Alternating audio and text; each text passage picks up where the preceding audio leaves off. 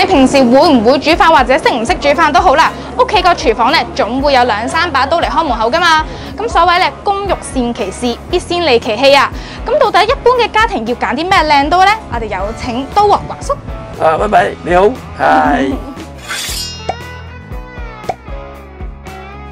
我哋刀之中咧，而家一般嚟講咧，就係有分三大類。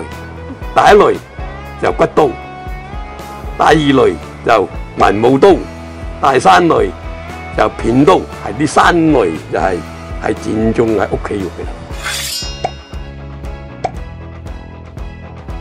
靚刀咧就又要分別類嘅喎。你不刀靚嘅，唔會崩嘅，多數咧係德國刀咧就比較係穩陣啲啦。而家半鋼嗰啲咧就比較冇穩陣，容易崩啲，因為嗰啲降水問題，個鋼質有問題啊。有骨刀、片刀咧，手工嚟講咧就去日本嘅啦。手工啊，做做手工嚟就去日本。而家講鋼質嚟講啊，就係德國靚。嗱，一般家庭咧，一把文武刀，一把片刀就得嘅啦。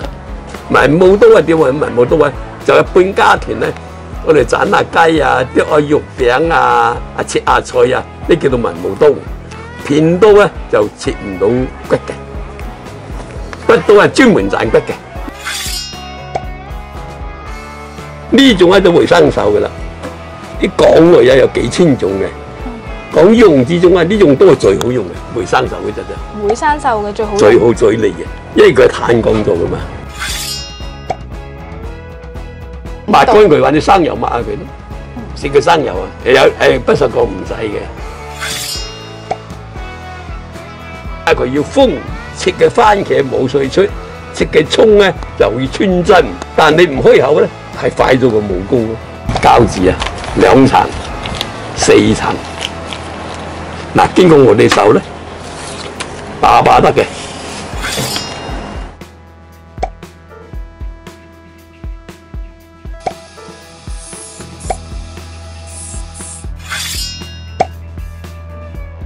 一定要嘅真品咧，就唔好用纖維咯，玻璃纖維啊，實壞刀嘅。太硬嗰頭佢壞刀嘅，刀鋒啊會快壞啊，木啊同埋膠係咪最好？